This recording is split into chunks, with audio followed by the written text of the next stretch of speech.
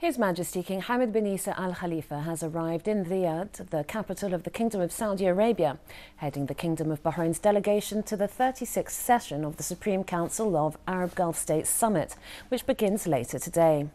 His Majesty was received on arrival by the custodian of the two holy mosques, King Salman bin Abdulaziz Al Saud, the governor of Riyadh region, His Royal Highness Prince Faisal bin Bandar Al Abdulaziz Al Saud, the Crown Prince, Deputy Premier and Interior Minister, His Royal Highness Prince Mohammed bin Nayef bin Abdulaziz Al Saud, Deputy Crown Prince, Second Deputy Premier and Defence Minister, His Royal Highness Prince Mohammed bin Salman bin Abdulaziz Al Saud, the GCC Secretary General Dr. Abdulatif bin Rashid Al Zayani, Minister of State and Cabinet Member Dr. Issam bin Saad bin Said, the accompanying minister, the head of royal protocols, Khalid bin Saleh Al Abad, Riyadh's region secretary, Ibrahim bin Mohammed Al Sultan, the ambassador of the custodian of the two holy mosques to the Kingdom of Bahrain, Dr. Abdullah bin Abdulmalik Al Sheikh, and the ambassador of the Kingdom of Bahrain to the Kingdom of Saudi Arabia, Sheikh Hamud bin Abdullah Al Khalifa. His Majesty the King greeted senior recipients, including their Royal Highnesses, princes, ministers, senior civilians, and military officials. The custodian of the two holy mosques also shook hands with members of the official delegation accompanying His Majesty the King. On the occasion, His Majesty the King expressed his pleasure at being in the Kingdom of Saudi Arabia and his utmost delight to meet again with the custodian of the two holy mosques, King Salman bin Abdulaziz Al Saud, and participate in the 36th GCC summit. He also confirmed a keenness to work with their Majesties and Highnesses, the leaders of the GCC countries, to accomplish more steps to bolster the blessed drive adopted towards Gulf integration in all fields, to achieve the people's aspirations and to keep up with the current developments and respond to future aspirations. He affirmed such brotherly meetings between the leaders of GCC countries are considered an opportunity to exchange views and consult on all issues and matters of concern to GCC states to achieve everything in the welfare of the people, constructively seek to consolidate the security and stability of the region under fast transformation in the regional and international arenas. He said these challenges require top harmonization and coordination in the Gulf movement to boost collective cooperation, work persistently to activate and develop the role of the Gulf Cooperation Council in a manner to be felt by Gulf citizens in achieving their hopes and aspirations and upgrade to integration and union.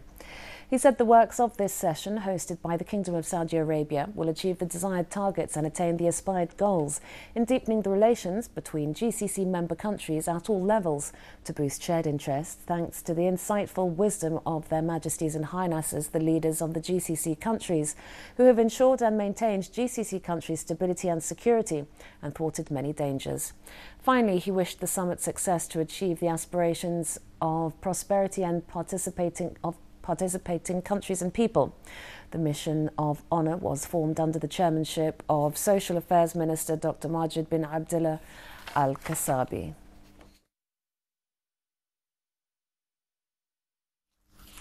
Earlier today, His Majesty King Hamad bin Isa Al Khalifa headed to the Kingdom of Saudi Arabia, leading the kingdom's delegation to participate in the 36th Supreme Council of Gulf Arab States Summit in the Saudi capital, Riyadh.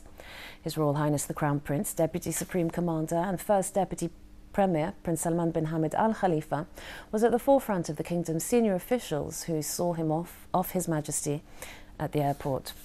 His Majesty had been accompanied with an official delegation comprising His Highness Sheikh Abdullah bin Hamad Al Khalifa, the personal representative of His Majesty the King, His Highness Sheikh Nasser bin Hamad Al Khalifa, the representative of His Majesty the King for Charity Work and Youth Affairs, Sheikh Khalid bin Ahmed Al Khalifa, the Royal Court Minister, Sheikh Salman bin Abdullah bin Hamid Al Khalifa, the Chairman of the Survey and Land Registration Bureau, Sheikh Hamid bin Ibrahim bin Mohammed Al Khalifa, Dr. Hassan bin Abdullah Fakhro, the advisor of His Majesty the King for Economic Affairs, Sheikh Khalid bin Ahmed bin Mohammed, Minister of Foreign Affairs, Nabil bin Yaqub Al Hamar, advisor of His Majesty the King for Media Affairs, Lieutenant General Yusuf bin Ahmed Al Jalahma, Minister of Defense Affairs, Major General Khalifa bin Ahmed Fadla, the head of Royal Protocols, Hamad bin Ali Al Qabi, Personal Secretary of His Majesty the King, Major General Mohammed bin Bahussein Al Masallam, commander of Sakhir Air Base. GCC leaders and heads of delegations arrived today in Riyadh, the capital of Saudi Arabia, to attend the 36th session of the Supreme Council of Arab Gulf States Summit. The summit will discuss topics regarding the GCC joint march, and leaders will also discuss political developments on regional, Arab, and international levels, especially topics regarding Yemen and Syria. The goal of the summit is to achieve joint cooperation to provide the best benefit for the region, provide high living standards for its people, and maintain the GCC's security and stability.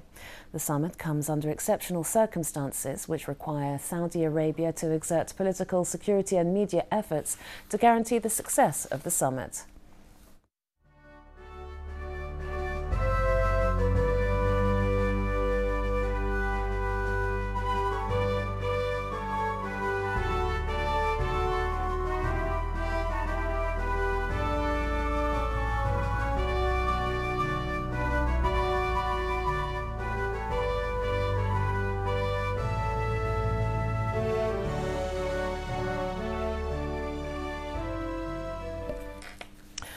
36th GCC summit commenced its activities this evening at Al Diriyah Palace after the leaders touched down in the Saudi capital, Riyadh.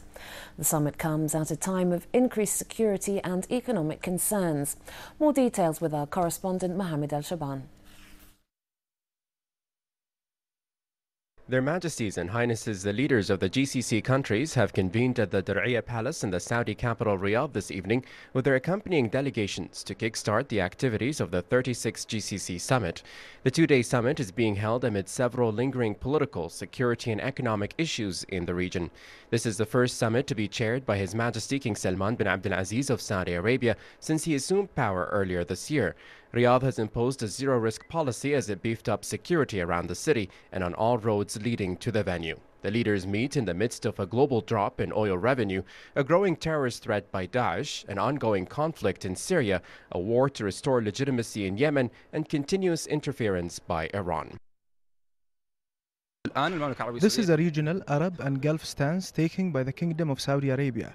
Hosting the Syrian opposition conference can change a lot in the regional and global arenas. The summit is expected to arrive at decisions that would boost the GCC's security and military integration, along with strengthening cooperation with international partners in the face of growing global threats. The leaders are also expected to stress on the need for humanitarian relief and medical aid to the people of Yemen while reasserting support for the legitimate government of Abdrabbuh Mansour Hadi. And on the Syrian crisis, the leaders will most likely voice their support for the Syrian opposition conference being simultaneously held in Riyadh with the aim of bridging differences within the Syrian opposition factions. We are optimistic that the strategic importance that Saudi and the GCC have can make a difference and drive the whole region to safety. This summit is of strategic importance due to the key issues it would tackle and the current geopolitical situation. However, like the ones before it, it will continue to hold the integral function of stressing the cooperative stance between the GCC member states. Now that the leaders have arrived and discussions have commenced, the people of the Gulf wait for the solutions put forth for the ongoing issues in the region. Hamid Shaban, Bahrain Television News, Riyadh.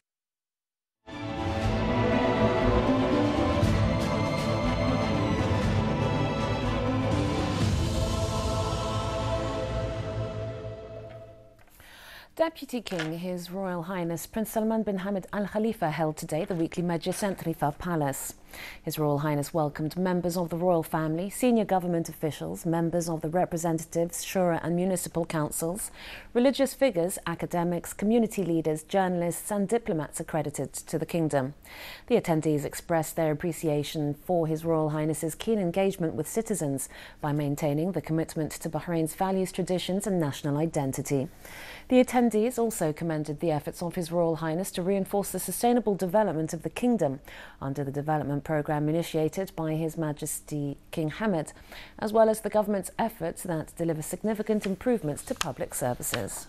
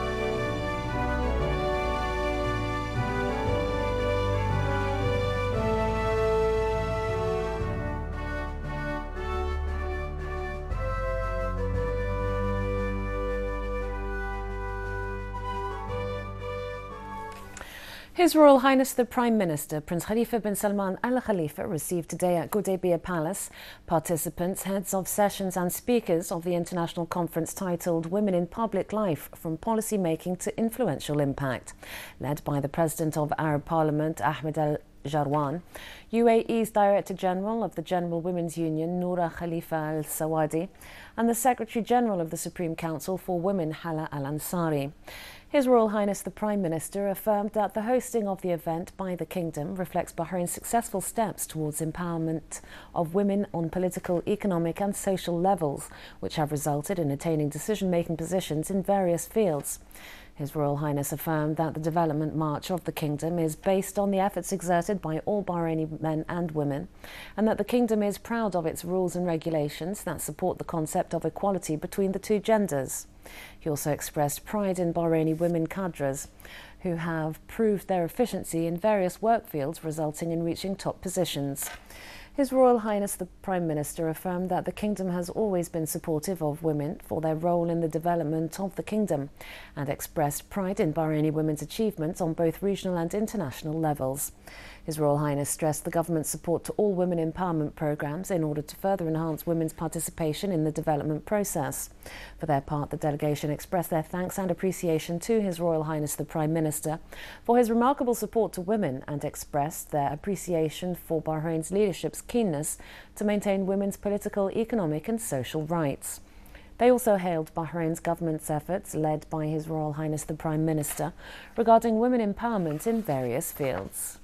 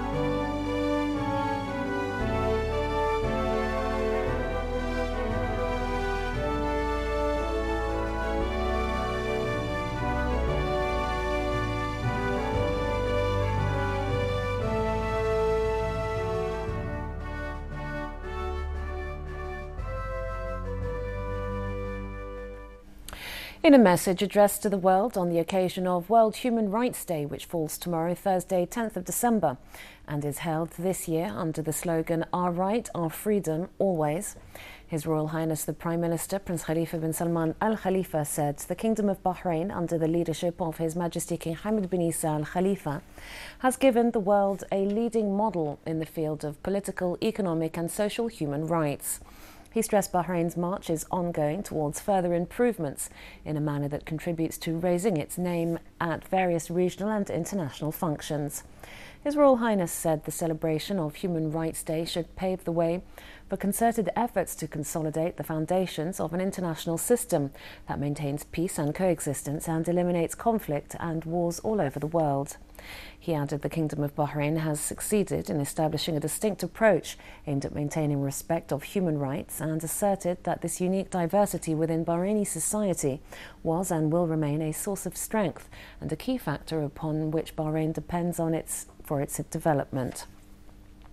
His Royal Highness the Prime Minister praised the King's initiative to establish an Arab court for human rights based in Bahrain and said Bahrain's humanitarian and cultural roots of tolerance and openness were the foundations of its contemporary progress and civil and open society.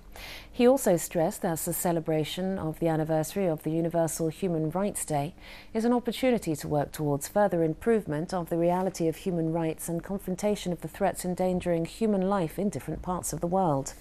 He added that the Kingdom of Bahrain shares the world's orientation for the promotion and protection of human rights and freedoms, and to ensure human beings' rights everywhere to live in security, peace, and stability. His Royal Highness the Prime Minister stressed the need to pay more attention to consolidating the foundations of security and global stability as a springboard towards decent life in which everyone enjoys pros a prosperous life. He warned of the dangers of leaving the doors wide open to sectarian and hatred speech, which undermines unity of the people and their efforts on the path to progress, calling for supporting every move that deepens understanding between people and cultures. He praised the National Organization for Human Rights for its efforts aimed at maintaining human rights gains and the positive development taking place in the Kingdom of Bahrain in this respect. His Royal Highness also commended the efforts of the United Nations and its Secretary General, Mr. Ban Ki moon, to promote human rights on an international level, calling upon the international community to back the international organization in order to improve the conditions of the people worldwide.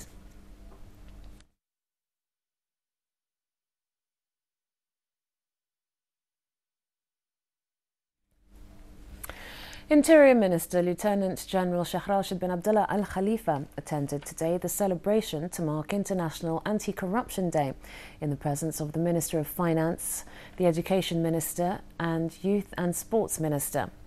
The meeting was also attended by the Public Prosecutor, the Interior Ministry's Undersecretary for Nationality, Passport and Residence Affairs, the Customs President, the Capital Governor, the Chief of Public Security and a number of officials.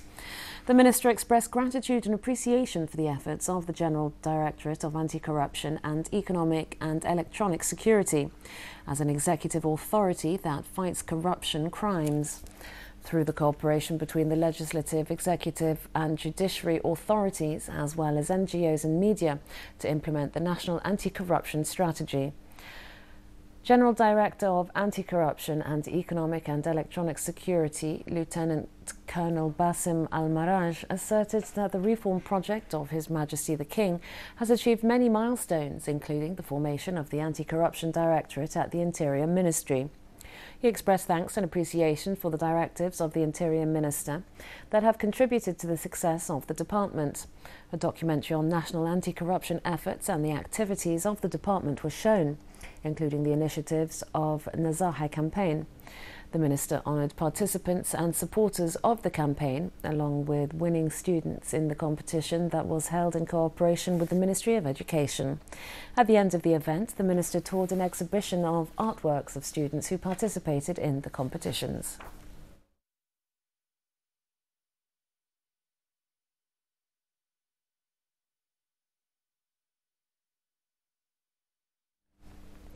Deputised by His Royal Highness the Prime Minister, Prince Khalifa bin Salman Al Khalifa, Minister of Cabinet Affairs Dr. Mohammed Al Mutawa, opened today Aster DM Health Centre, which provides high quality health services with affordable prices.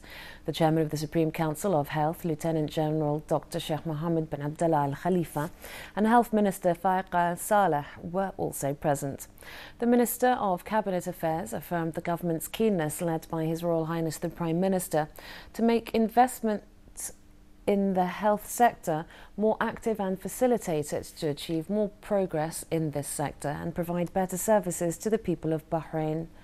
President of the Health Centre, Dr. Azad Moopen, delivered a speech in which he expressed appreciation for His Royal Highness's patronising the opening centre.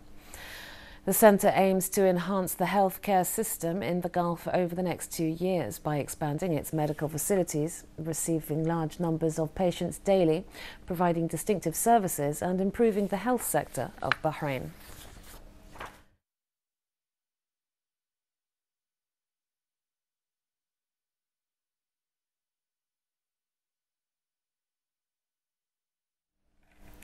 A high level conference on women in public life from policies to impact continues today, discussing promoting women's participation in public life for inclusive economic policies and equal opportunity in the private sector. The conference is also discussing promoting equal opportunities in parliamentary practices and the role of civil society institutions, in addition to building accountability from strategy to impact. The event is being held under the patronage of Her Royal Highness, wife of His Majesty the King, and President of the Supreme Council for Women, Princess Sabika bint Ibrahim Al Khalifa, and is organised by the SCW in association with the Organisation for Economic Cooperation and Development, the OECD. The conference is gathering high level representatives from ministers and heads of international and regional organisations working in the areas of women's affairs, policymakers, and practitioners from countries in the Middle East and North Africa, and the countries of OECD, as well as specialists from inside and outside Bahrain. Bahrain has ranked first with respect to the participation of women in senior management positions in the public sector at the Organisation for Economic Cooperation and Development Report 2013, where the percentage of women employed in the public sector in the administrative senior positions was 45% and exceeded the average in comparison to other countries in the Middle East and North Africa which was 29.1%. In addition, the participation rate of Bahraini women in the middle management positions amounted to 59%.